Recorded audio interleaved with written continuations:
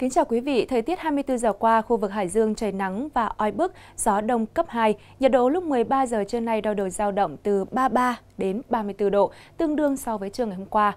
24 giờ tới, khu vực chịu ảnh hưởng của rìa phía Nam dãy áp thấp có trục khoảng 24 đến 27 độ vĩ Bắc, nên thời tiết các khu vực trong tỉnh được dự báo là mây thay đổi, đêm và sáng có mưa mưa rào và rông vài nơi, trưa chiều giảm mây trời nắng, có nơi có nắng nóng, gió đông nam cấp 2 cấp 3, nhiệt độ thấp nhất phổ biến từ 26 đến 27 độ, nhiệt độ cao nhất phổ biến từ 34 đến 35 độ, cụ thể từng khu vực như sau. Khu vực Đông Bắc tỉnh gồm thành phố Chí Linh, thị xã Kinh Môn, các huyện Kim Thành, Nam Sách và Thanh Hà. Mây thay đổi đêm và sáng có mưa rào và rông vài nơi, trưa chiều giảm mây trời nắng có nơi có nắng nóng, gió đông nam cấp 2 cấp 3, nhiệt độ từ 27 đến 35 độ, độ ẩm từ 65 đến 85%. Khu vực Tây Nam tỉnh gồm các huyện Cầm Giang, Bình Giang, Thanh Miện, Gia Lộc, Tứ Kỳ và Ninh Giang.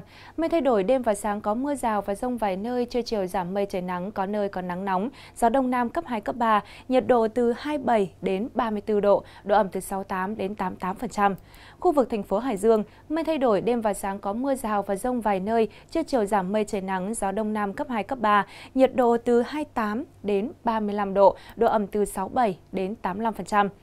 Về thủy văn, 24 giờ qua, mực nước các sông lên và dao động theo ảnh hưởng của thủy triều. Mực nước lúc 7 giờ ngày hôm nay trên sông Thái Bình tại Phả Lại là 1m33.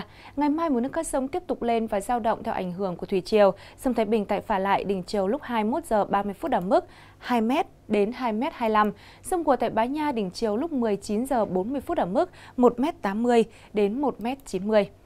Phần cuối sẽ là những thông tin dự báo thời tiết cho các vùng trên cả nước vào đêm nay và ngày mai. Cảm ơn quý vị và các bạn đã quan tâm theo dõi.